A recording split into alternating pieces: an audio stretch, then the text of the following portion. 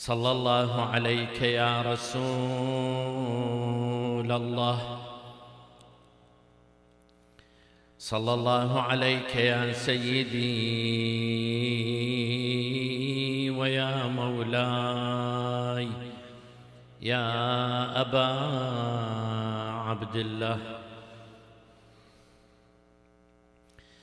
صلى الله عليك يا ابن رسول الله. يا رحمة الله الواسعة ويا باب نجاة الأمة. ما خاب من تمسك بكم وأمن من لجأ إليكم. يا ليتنا كنا معكم فنفوز فوزا عظيما.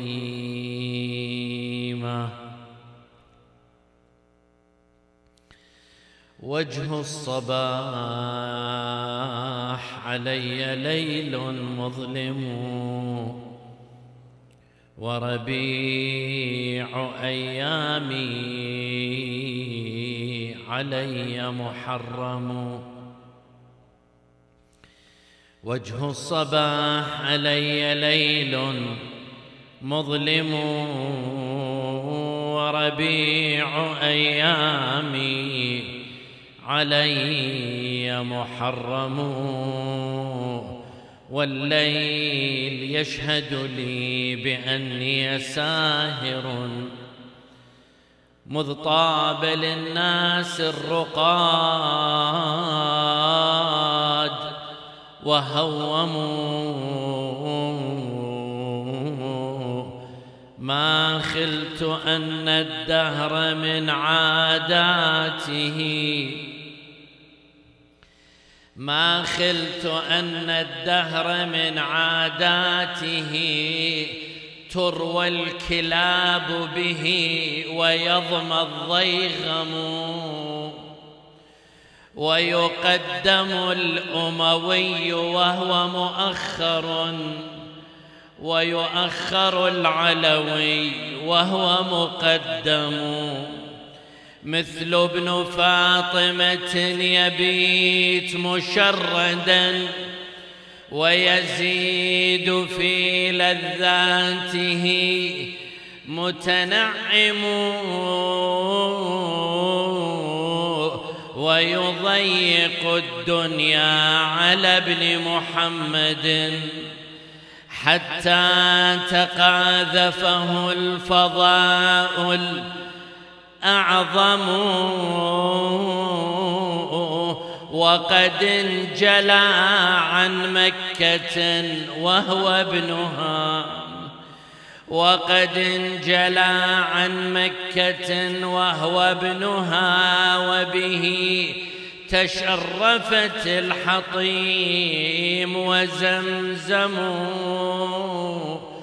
لم يدر أين يريح بدن ركابه فكأنما المأوى عليه محرم. لا حول ولا قوة إلا بالله. العلي العظيم قال تعالى في كتابه الكريم. ومن كان في هذه أعمى فهو في الآخرة أعمى وأضل سبيلا. طيبوا أفواهكم بالصلاة على محمد وآل محمد.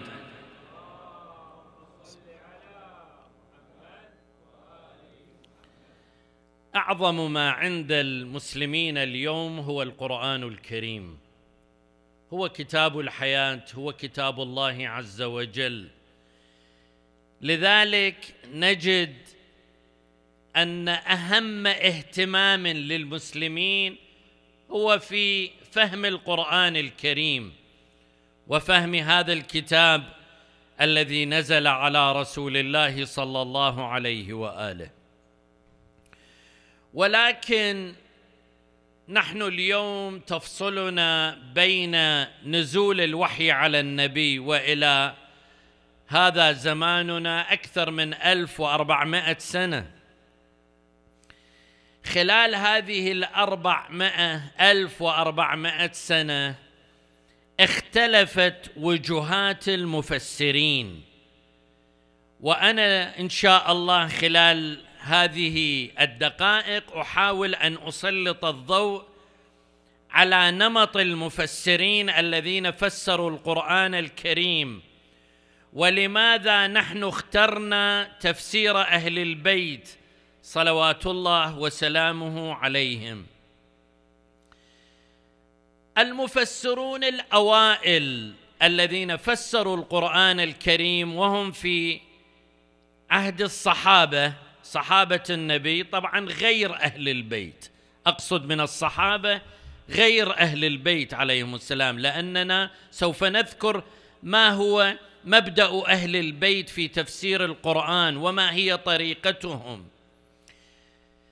أول من فسر القرآن كان مجموعة من الصحابة مثل عبد الله بن عباس عبد الله بن عمر أبي أمثال هؤلاء. هؤلاء فسروا القرآن وكانت طريقة تفسيرهم للقرآن الكريم تعتمد على ثلاثة أمور. الأمر الأول أنهم كانوا يبينون الجهات الأدبية في القرآن الكريم. تعرفون هم عرب وفي قريش والقرآن هو كتاب عربي يعني فيه اللغة العربية والبيان العربي. لذلك كانوا يهتمون بالجهات الأدبية للكلمة في القرآن وللآية في القرآن. هذا الجانب الأول. الجانب الثاني الصحابة كانوا يهتمون بنقل أسباب النزول. تعرفون أن واحدة من علوم القرآن الكريم القرآن له علوم مجموعة علوم ترتبط بالقرآن الكريم. واحدة من العلوم التي ترتبط بالقرآن الكريم هي أسباب النزول. يعني الآيات التي نزلت في حوادث معينة وقائع معينة هذه كذلك كان يرويها الصحابة لأنهم حضروا وشاهدوا نزول القرآن الكريم. وبعض الصحابة كان يذكر روايات عن النبي إذا هو حضر إذا هو سمع من النبي مثلا كلمة كذلك كان يذكرها. هذه الطبقة الأولى من المفسرين هم الصحابة. الطبقة الثانية من من المفسرين وهم يسمون التابعين. من هو التابعي؟ التابعي هو الذي أدرك الصحابة ولم يدرك. ولم يدرك رسول الله صلى الله عليه وآله. يعني ما شاف النبي بس التقى بصحابة النبي صلى الله عليه وآله. طبعا التابعين فترة حياتهم امتدت من القرن الأول وإلى القرن الثاني بعضهم. يعني بعض التابعين أدرك القرن الثاني من الهجرة. وأولئك الذين رأوا بعض أصحاب النبي صلى الله عليه وآله. هؤلاء مجموعة من المفسرين منهم مجاهد قتادة آه، منهم السدي الشعبي هؤلاء من التابعين يعتبرون من التابعين. هؤلاء كذلك فسروا القرآن واختلف تفسيرهم عن تفسير الصحابة. شلون؟ هؤلاء أخذوا من الصحابة يعني هم نقلوا من الصحابة نقلوا الجهات الأدبية للآيات القرآنية وكذلك نقلوا أسباب التفسير ولكن ضمنوا في تفسيرهم الحديث الشريف. يعني وضعوا في تفسيرهم للقرآن الأحاديث التي نقلت عن النبي صلى الله عليه وآله. ولكن هذا النقل بعض هذا النقل لم يكن صحيحا لأنه دخلت في العهد الأموي دخلت الروايات التي وضعت على لسان النبي صلى الله عليه وآله وخصوصا فيما يختص بقصص الأنبياء وب وببعض ثلمات وبعض آه، مثالب لعله على الأنبياء ذكروها وكذلك في روايات القصص وفي خلق السماء أخذوا من أهل الكتاب أخذوا من أهل الكتاب من اليهود والنصارى. لذلك نشأت مجموعة من الروايات سميت بالإسرائيليات. شنو هي الإسرائيليات؟ روايات نشأت في العهد الأموي يعني في القرن الأول والثاني أخذها المسلمون التابعين أخذوها من بعض الصحابة الذين كانوا نصارى ويهود ودخلوا في الإسلام. هؤلاء ماذا فعلوا؟ يفسر القرآن يقرأ قصة موسى قصة إبراهيم ينقل ما موجود في التوراة ويطبق على القرآن الكريم. عرفتوا شلون؟ لذلك جعلوا يفسرون القرآن بروايات إسرائيلية بروايات موجودة في التوراة وفي الإنجيل. ودخل في تفسيرهم الحديث بعض صحيح وبعض غير صحيح. هذا هذا القسم الثاني من المفسرين. تعرفون بعد القرن الأول والقرن الثاني النهضة الإسلامية العلمية توسعت. في بداية القرن الثاني بدأت ترجمة الكتب اليونانية إلى اللغة العربية وخصوصا في زمن المأمون وهارون ودخلت علوم أخرى إلى الثقافة العربية الثقافة الإسلامية ونشأت في تلك الفترة المذاهب الفكرية. يعني المذاهب الفكرية المعتزلة الأشاعرة الجبرية المفوضة الظاهرية الحشوية الخوارج هؤلاء كلها مذاهب ظهرت في تلك الفترة في الفترة القرن الأول والقرن الثاني الهجري. عندما ظهرت هذه المذاهب ظهرت طرق أخرى في التفسير أيها الإخوة. القسم الأول ظهر مجموعة يسمون أنفسهم بأهل الحديث. هؤلاء قالوا نحن لا نهتم بتأويل القرآن بل نهتم بظاهر القرآن الكريم. لأن تعرفون القرآن فيه ظاهر وفيه باطن يعني فيه تفسير وفيه تأويل. الله عز وجل هو الذي أرسل هو الذي أنزل عليك الكتاب. منه آيات محكمات هن أم الكتاب. وأخر متشابهات فأما الذين في قلوبهم زيغ فيتبعون ما تشابه منه ابتغاء الفتنة وابتغاء تأويله. وما يعلم تأويله إلا الله والراسخون في العلم. يقولون آمنا به كل من عند ربنا وما يذكر إلا أولو الألباب. اذا القرآن بنص القرآن فيه تأويل وفيه تفسير. أهل الظاهر. قالوا إحنا ما نعرف التأويل. شو عرفنا إحنا بالتأويل؟ فتركوا التأويل والتزموا بظاهر القرآن الكريم. فسروا القرآن. الآيات اللي اضطروا لتأويلها لأن هنالك آيات في القرآنية ما تستطيع أن تحملها على الظاهر مثل الآية التي قرأتها في بداية الحديث. من كان في هذه أعمى فهو في الآخرة أعمى وأضل سبيلا. زين هذه إذا تفسرها على ظاهرها يعني اللي أعمى بهالدنيا يصير أعمى يوم القيامة. معقولة؟ يعقلها إنسان أن الله عز وجل وعدل الله عز وجل اللي أخذ منا نعمة البصر كذلك يعمي عينه يوم القيامة؟ ما لا يقبل. لذلك هذه الآية لا تحمل على الظاهر. هذه الآية يجب أن تؤولها يجب أن تجد لها تأويل. لذلك نحن في مدرسة أهل البيت نقول هذه الآية تؤول.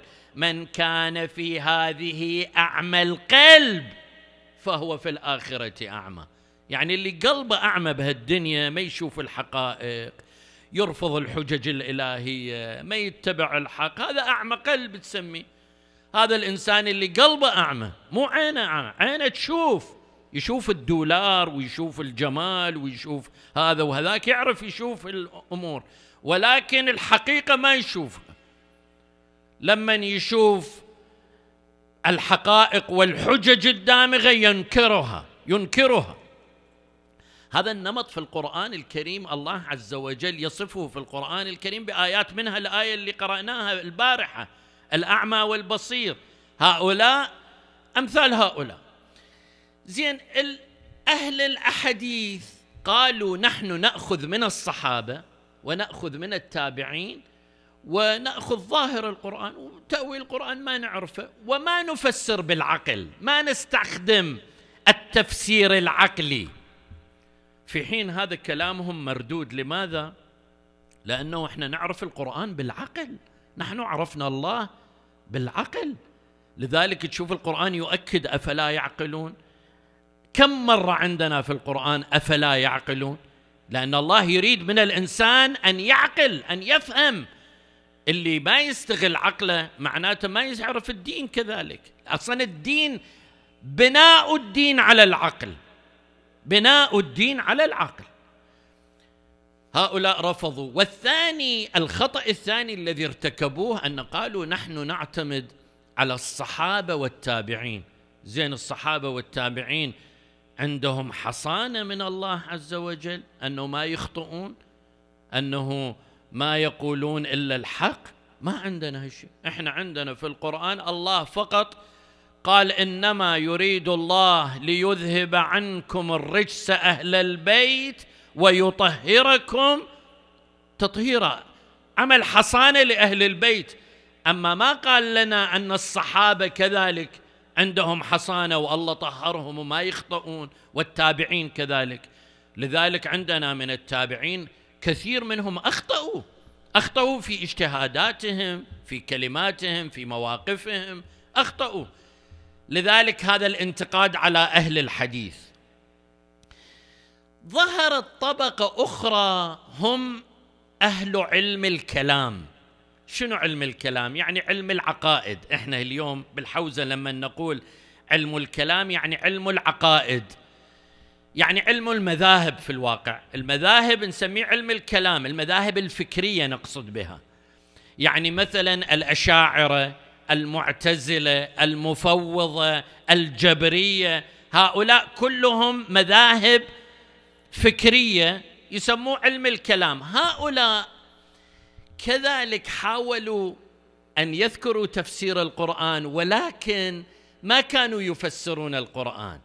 ذكروا معتقداتهم ثم جاءوا بآيات تتطابق مع أقوالهم ومع معتقداتهم أخذوا بها. والآيات التي ما تتطابق مع معتقداتهم أولوها جعلوا يأولوها. هسه أضرب لكم مثال.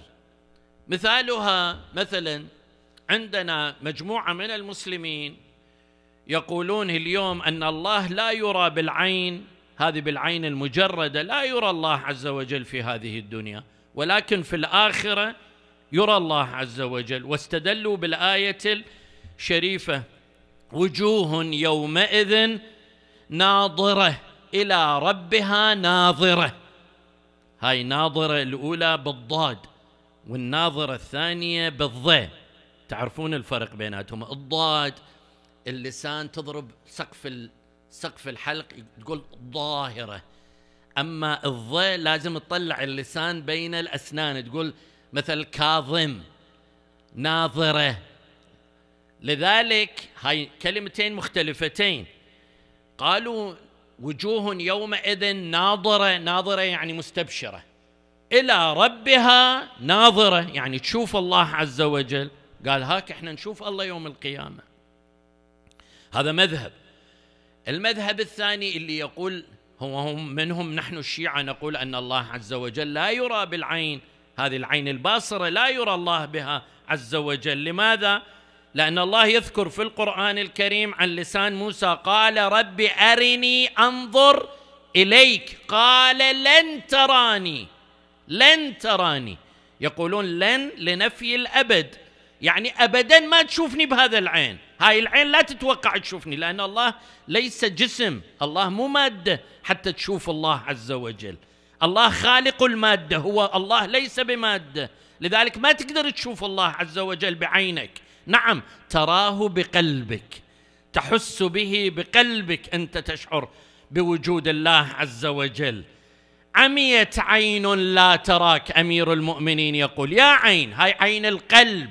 عين البصيرة لا عين البصر. أكو فرق ما بين عين البصيرة وعين البصر. هؤلاء اللي قالوا الله لا يرى كذلك استدلوا بهذه. فكان كل مذهب يذكر اعتقاداته ثم يأتي ويطبق الآيات على مذهبه. مثلا المجبرة يذكرون آيات أنه أن الله عز وجل هو يخلق هو يشاء هو يحاسب الناس يدخل الجنة من يشاء يدخل الناس النار لمن يشاء. قالوا هذه أن الله أجبر الناس يعني الله يجبرنا قضاء وقدر والله قضى أن الشمر يقتل الحسين والشمر يروح للنار. الله قضى له. هاي المجبرة هكذا يقولون. المخيرة قالوا لا. حاشا لله عز وجل. هذا ما ينسجم مع عدل الله عز وجل. أن يقضي عليك بشيء ثم يأخذك إلى نار جهنم. إذا هو قضى عليك هذا الفعل فهو أحق بالعقاب منا. نعوذ بالله استغفر الله. لأنه هو شريكنا في هذا العمل إذا هو جبرنا عليه. لذلك يقول الإمام الرضا لا جبر ولا تفويض ولكن أمر بين أمرين. نحن لا نعتقد لا بالجبر ولا بالتفويض. هو أمر بين أمرين ولكن الذنب والمعصية نحن نرتكبها. الله أعطانا القوة أعطانا المقدرة ولكن باختيارنا نحن نعصي الله عز وجل حتى نستحق العقاب. وإلا إذا كان الله يجبرنا على المعصية ما نستحق العقاب. فجعل كل مذهب يطبق الآيات. لذلك يقولون أهل علم الكلام ومجموعه كذلك من الفلاسفة هؤلاء يطبقون الآيات هؤلاء لا يفسرون الآيات. طبعا طلع مع أهل الكلام طلعت طبقه من المسلمين هم أهل الفلسفة. تعرفون الفلسفة بدأت في اليونان قبل الإسلام من ثلاثة آلاف سنة من أيام أفلاطون وأرسطو أمثال الفلاسفة اليونان ثم ترجمت الكتب فلاسفة المسلمين حوروا الفلسفة بما تتطابق مع الدين الإسلامي. يعني الأمور التي تتطابق مع الدين ها حوروها حتى صار عندنا فلاسفة إسلاميين مبادئ فلسفية تقرؤوها. هذا علم المنطق هذه مبادئ الفلسفة. في علم المنطق نقرأ مبادئ الفلسفة. الفلاسفة تدرون في السابق الفلاسفة كانوا يعتمدون على علم الرياضيات لأن الرياضيات يعتبر من الفلسفة من المنطق لأنه نتائج صحيحة نتائج دقيقة ما تختلف نتائج الرياضيات. وكذلك كانوا يعتقدون على علم الفلك والمجرات والأفلاك والكواكب ومواقع الكواكب. هذا في علم الفلسفة. هؤلاء كذلك جعلوا يفسرون الآيات اللي تتفسر معاهم بالظاهر يفسروها. الآيات اللي تختلف معاهم مثل خلق السماوات والأرض والله خلق العرش وخلق الروح. هذه الفلسفة ما تفهم هالامور جعلوا يؤولونها. هذه الأمور جعلت تؤول. هذا كذلك ما وقع به الفلاسفة. غير الفلاسفة ظهرت طبقة هم المتصوفة. المتصوفة كذلك ظهروا في تاريخ الإسلام. طبعا قصة طويلة الآن ما أريد أذكرها لأنه إحنا مجالنا ما يسع. المتصوفة كذلك وقعوا في اشتباه لأن تعرفون المتصوفة أهل باطن يعتقدون بالباطن. و تركوا ظواهر القرآن واعتمدوا على تأويلات القرآن. الف... الصوفية. فقاموا ماذا يصنعون؟ قاموا يؤولون الآيات حسب مزاجهم. مثلا مثلا تعرفون إحنا في اللغة العربية كل حرف له رقم. فجعلوا يؤولون حتى الجمل القرآنية بالأرقام. ويعتبروها هذه منقبة لفلان وهذه منقبة لفلان وتركوا الظواهر وعملوا بالبواطن عملوا بالتأويل. طبعا تأويل من جيبهم كانوا يطلعون تأويل لأن ذولا ما كانوا يعتمدون على أهل البيت سلام الله عليهم. فتأويلاتهم وصلت إلى درجة أن منامات ما أدري أطياف واحد يشوف قول ضعيف ما أدري ينقلوه عن فلان هذا في تأويل هاي هذه هذه الآية وتلك الآية. هذه كذلك مجموعة من المسلمين. هذا البحث أيها الإخوة إذا تريدون العلامة الطباطبائي في مقدمة تفسير الميزان ذكر هذه التفاصيل بتفصيل دقيق ذكرها. ثم يذكر لماذا نحن الشيعة اتبعنا أهل البيت عليهم السلام في تفسير القرآن. الآن أذكر لكم وصلوا على محمد وآل محمد.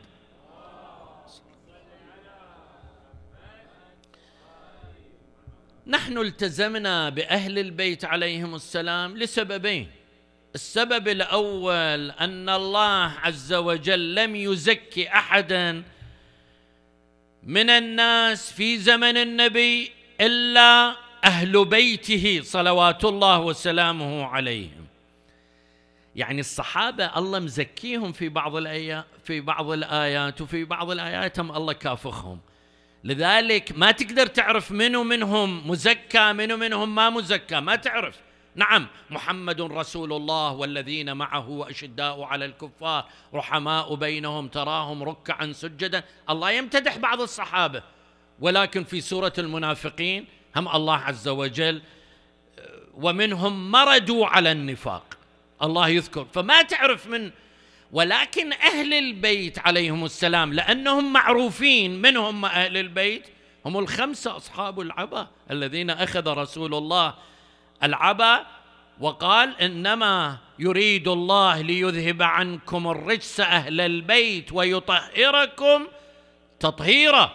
نزلت في رسول الله وعلي بن أبي طالب وفاطمة الزهراء والحسن والحسين.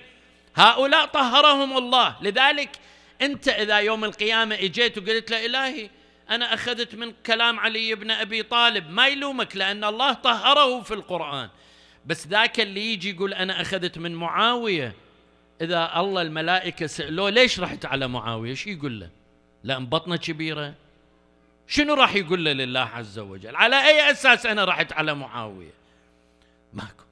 هذا هذا الدليل الأول أيها الإخوة. الدليل الثاني الحديث المتفق عليه بين المسلمين. إني تا هذا الحديث ترى في في كتاب في صحاح السنة مذكور. يعني مو تتصورون أنا عندما أقول متفق عليه يعني أبالغ في هذه الكلمة. إني تارك فيكم الثقلين ما إن تمسكتم بهما فلن تضلوا من بعدي أبدا. كتاب الله وعترتي أهل بيتي ولن يفترقا حتى يرد علي الحوض. شوفوا هذا الحديث فيه نقطتين مهمتين. النقطة الأولى أن الله أن رسول الله يخاطب المسلمين إلى يوم القيامة. يقول أنا تارك فيكم شيئين إذا تريد النجاة إذا تريد الحقيقة إذا تريد أنك تكون مع الله عز وجل مع رسول الله أنا تارك لكم طريقين. هاي من رحمة الله عز وجل بكم أيها المؤمنون. تارك لكم طريقين الطريق الأول كتاب الله والطريق الثاني وعترتي أهل بيتي. هاي طريقين. والنقطة الثانية جدا مهمة أيها الأخوة يقول ولن يفترقا حتى يرد علي الحوض. يعني شنو لن يفترقا يعني أهل البيت والقرآن الكريم ما تشوف بيناتهم افتراق. ما يفترقون ما تشوف يوم أهل البيت يطلعون عن نهج القرآن أو القرآن ما يأيد فواحد يؤيد الثاني القرآن يؤيدهم وهم يؤيدون القرآن. إلى متى؟ حتى يرد علي الحوض حتى يرد علي الحوض. تدرون هذه واحدة من الأدلة على أن إمام العصر الإمام الحجة بن الحسن هو موجود وعلى قيد الحياة هذا الحديث. لأن رسول الله أخبر قال لن يفترقا يعني ما يصير زمان ما في إمام وفي قرآن. لازم أكو إمام وقرآن. لن يفترقا حتى يردا علي الحوض. واضحه الآية الحديث؟ لن يفترقا يعني أهل البيت والقرآن يبقون إلى يوم القيامة. لذلك نحن نعتقد أن إذا رجعنا بتفسير القرآن لأهل البيت عليهم السلام فهم أدرى بتأويل القرآن. يعرفون ظواهر القرآن يعرفون تأويل القرآن. طبعا ظاهر القرآن مو بحاجة إلى تفسير. أي إنسان عربي أي إنسان أنتم الآن عرب تفهمون القرآن تقرأ القرآن الآيات المحكمة ما فيها ما فيها إشكال. كل إنسان يعرفها كل عربي يفهم الآيات المحكمة. الاختلاف وين؟ الاختلاف عندما تأتي آية متشابهة. آية متشابهة اللي أنت ما تستطيع ما تفهم ما تفهم معناها هذه الآية. طلعها كأنه رؤوس الشياطين. من يعرف هذا معناها؟ منو شايف رؤوس الشياطين؟ ولا حد شايف رؤوس الشياطين. زين هذه آية تحتاج إلى تأويل. هذه آية ما تستطيع أنت تعملها على الظاهر. لازم يكون فيها تأويل. من يعلم التأويل؟ الله يقول ولا يعلم تأويله إلا الله والراسخون في العلم يقولون آمنا به كل من عند ربنا. زين إذا أهل البيت سلام الله عليهم هم الذين أشار إليهم رسول الله أنا مدينة العلم وعلي. بابها هذا باب مدينة علم رسول الله صلى الله عليه وآله. لذلك تشوف في زمن علي بن أبي طالب في زمن رسول الله يسأل الخليفة الثاني فاكهة وأبا شنو؟ ما يعرف. يقول أنا ما ما أعرف. أبا شنو؟ فاكهة وأبا. أبا الفاكهة هي طعام البشر. الأبة هي طعام الحيوانات. الخليفة الثاني ما كان يعرفها مع ما هو عربي هو في قريش.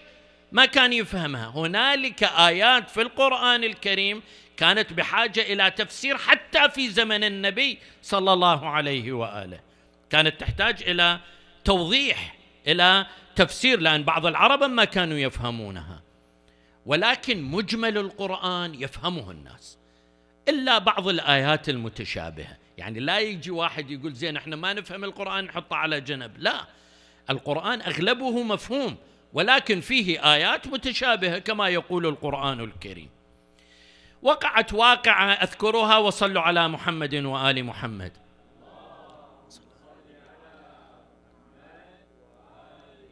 جيء بامرأة إلى عمر حتى يقيم عليها الحد وكانت قد ولدت بعد ستة أشهر من زواجها. تزوجت بعد ستة أشهر ولدت. فاتهمها زوجها بأنها زانية لأنه ستة أشهر ولدت. جابوها العمر عمر حكم عليها بالرجم. جعلت المرأة تصرخ تبكي تتوسل تستغيث بهذا بذاك. اجى أحد الأصحاب إلى أمير المؤمنين قال يا أمير المؤمنين أدرك هاي المرأة؟ هذه بريئة. جاء أمير المؤمنين عليه السلام قال لعمر ماذا صنعت؟ قال هذه هذه ولدت لستة أشهر متزوجة وستة أشهر ولدت. هذه معناتها أنه عادة الحمل تسعة أشهر. فقال له أمير المؤمنين عليه السلام هل قرأت القرآن؟ هل قرأت الآية؟ وحمله وفصاله ثلاثون شهرا. قال نعم حمله وفصاله. حمله يعني الحمل والرضاعة. مجموع الحمل والرضاعة كم؟ ثلاثون شهرا. قال له نعم قرأتها. قال له هل قرأت في سورة البقرة والوالدات يرضعن أولادهن حولين كاملين قرأت هذه؟ قال له إيه نعم قرأتها. حولين كاملين يعني إيش قد؟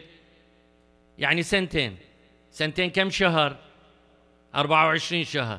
فقال له أمير المؤمنين اطرح 24 من 30 لأن 24 والوالدات يرضعن يعني الفصال يعني الرضاعة هي 24 شهر. كم يبقى للحمل؟ ستة أشهر. فقال له أمير المؤمنين أقل الحمل ستة أشهر. طبعا الرواية عندنا الإمام الحسين ولد لستة أشهر. الإمام الحسين سلام الله عليه ولد لستة أشهر. فقال له أمير المؤمنين القرآن يثبت أن أقل الحمل ستة أشهر. تعجب عمر. قال له يا أبا الحسن أنت شلون؟ طلعت هالجواب أنا أقرأ القرآن. أمير المؤمنين قال له كم أصبع في يدك؟ قال خمسة قال أنا هذه المسألة أجيبها كأنه خمسة في إصبعي. يعني أنت عليك صعبة ولكن على علي بن أبي طالب مو صعبة. علي بن أبي طالب الله عز وجل كتب له أن يكون من أعلم الصحابة أعلمكم علي. أنا مدينة العلم وعلي. بابها. لذلك لا نلام نحن إذا أخذنا من أهل البيت. لذلك من أهم نقاط تفسير أهل البيت أيها الإخوة أن يفسروا القرآن بالقرآن. يفسر الآيات القرآن بالقرآن الكريم. لذلك العلامة الطباطبائي من ميزات تفسير الميزان أنه يفسر القرآن بالقرآن. عندنا تفاسير فقط بالروايات مثل تفسير البرهان للعلامة البحراني تفسير القمي لعلي بن إبراهيم القمي. هذه روايات تفسر الآيات. وعندنا تفسيرات أدبية للقرآن ينظر إلى الجانب الأدبي اللغوي وكذلك شأن النزول مثل تفسير مجمع البيان للطبرسي رضوان الله عليه. وهنالك تفاسير تجمع مجموعة من العلوم مجموعة من طرق التفسير منها تفسير الميزان تفسير الأمثل. وأنا أنصح إخوتي الأعزاء أن يلتزموا بقراءة تفاسير القرآن. لأن واحدة من الاختلافات هي بدأت منذ نهضة سيد الشهداء عليه السلام الإمام الحسين عليه السلام. لأن الإمام الحسين عندما نهض كان يصور بنو أمية أن أطيعوا الله ورسوله وأولي الأمر منكم. من هم أولي الأمر؟ يقولوا لهم أولي الأمر يعني الحاكم. مثل ما اليوم تشوفون في دولنا العربية دولنا الإسلامية يدعي للحاكم يدعي للأمير للملك الفلاني لل... لماذا يعتبره من ولاة الأمر؟ ولكن عندما تأتي لتفسير أهل البيت عليهم السلام تجد أن أولو الأمر هم الأئمة صلوات الله وسلامه هم أهل البيت وأئمة أهل البيت سلام الله عليهم. لذلك نحن نأخذ تفسيرنا منهم لأنهم هم أهل القرآن. في بيوتهم نزل القرآن في بيوت أذن الله أن ترفع ويذكر فيها اسمه. لذلك رأى الإمام الحسين لابد أن يوضح هذه الحقائق للناس ويظهر ويعلن ثورته على هذا النهج الفاسد النهج الذي أضاع الأمة الإسلامية. خرج سلام الله عليه في مثل هذه الليلة. عادة نذكر وصول الحسين إلى أرض كربلاء. عندما وصلوا إلى مشارف كربلاء هنالك قضية يسموها الحداء بالإبل. الإبل عندما ترعى يعني النياق الجمال عندما ترعى الذي يحدو بالإبل يعني راعي الإبل يقرأ أبيات من الشعر يقرأ صوت عنده صوت هذا الصوت يجمع الإبل يخليها تألف عليه تمشي خلفه. هذا يسموه باللغة العربية الحداء. الحداء. وإلى هذا اليوم موجود. اليوم بس في مناطق في الجزيرة العربية اللي يرعون الإبل يقرأ للإبل أبيات حتى يحدو بالإبل. الإبل تنصاع له تمشي خلفه. هذا يسموه حداء الإبل. الطرماح بن عدي كان في ركب الحسين عليه السلام. قال سيدي يا ابن رسول الله أتأذن لي أن أحدو بالإبل؟ يعني أنا أتقدم وأحدو لهذا الإبل؟ قال له نعم. فجعل تقدم موكب الحسين عليه السلام وجعل يقول يا ناقتي لا تذعري من زجري واسر بنا قبل طلوع الفجر بخير بخير فتيان وخير سفر. آل رسول الله آل الفخر السادة البيض الوجوه الزهري.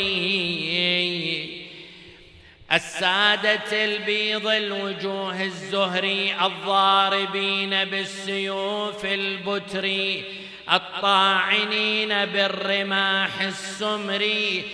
يا دائم النفع معا والضر أيد حسينا سيدي بالنصر. على الطغاة من بقايا الكفر. على اللعينين سليلي صخري يزيد لا زال حليف الخمر وابن زياد العهر ابن العهر. مشت قافلة الحسين عليه السلام حتى وصل أرض كربلاء. لست أنساه. إذ قام اسم هذه الأرض؟ قالوا كربلاء يا ابن الأمين. قال كرب وبلاء في ثراها يدفنوني وبها تؤسر نسواني وفيها يقتلوني.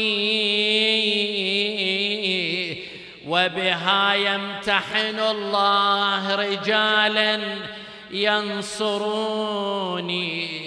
فارجعوا جزيتم خير جزاء واتركوني. قالوا لا ومن خصك بالفضل المبين.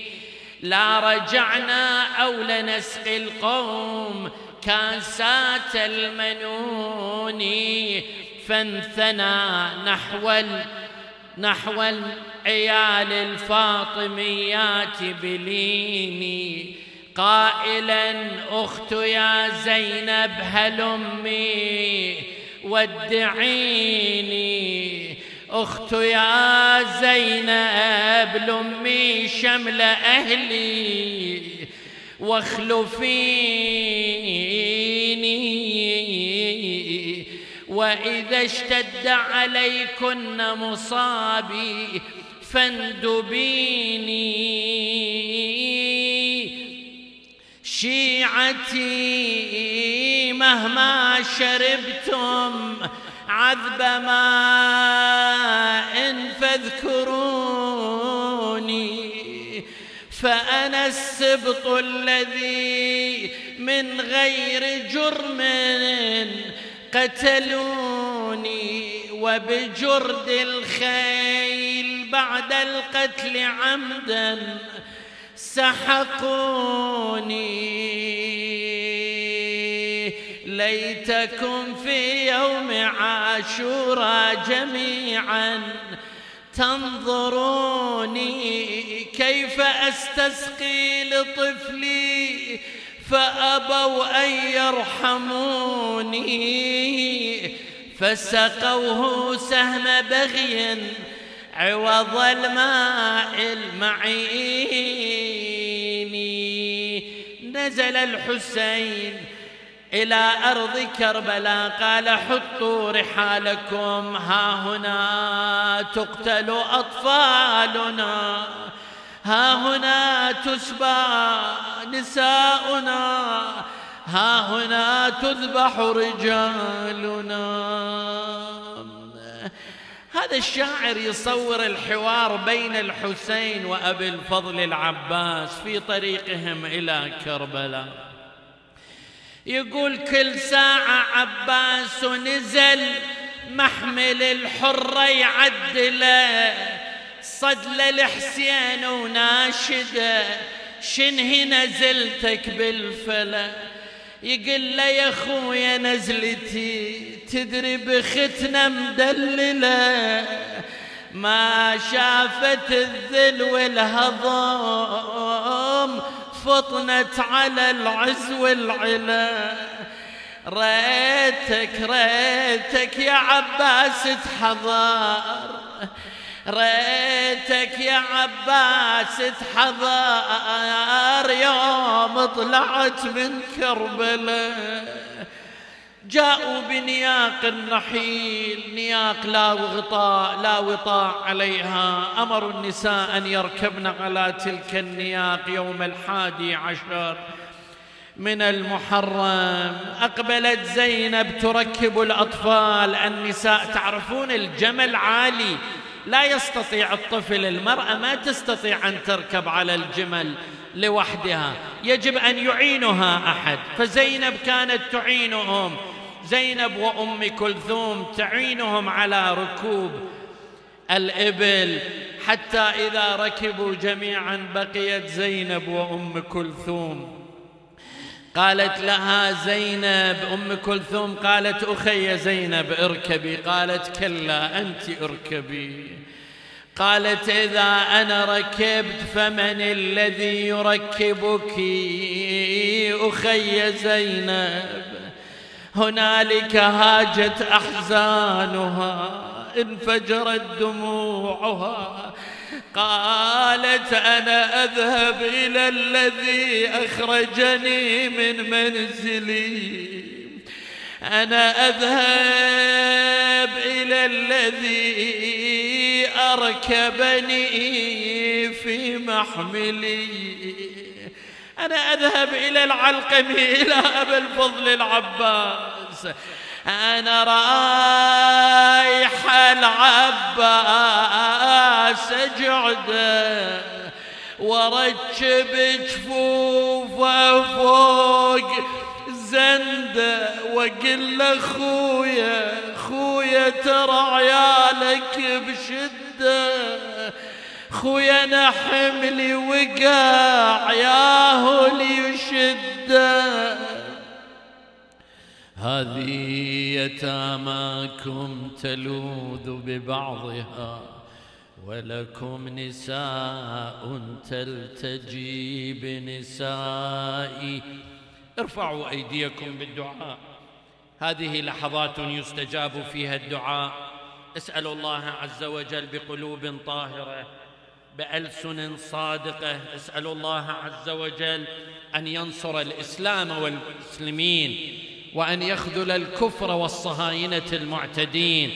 نسأل الله عز وجل أن ينصر إخواننا المؤمنين في غزة وفي جنوب لبنان وفي اليمن وفي العراق وأن ينزل عذابه ونقمته على الصهاينة المعتدين على هؤلاء المجرمين الذين يقتلون الأبرياء في كل يوم. اسال الله عز وجل أن يثبتنا على ولاية محمد وآل محمد وأن يعجل فرج إمام زماننا وأن يجعلنا معهم في الدنيا والآخرة وإلى أرواح المؤمنين والمؤمنات والشهداء وإلى أرواح الباذلين في هذا المجلس والعاملين في هذا المجلس وإلى أرواح أمواتكم جميعا وأموات المؤسسين نهدي للجميع ثواب الفاتحة مع الصلوات.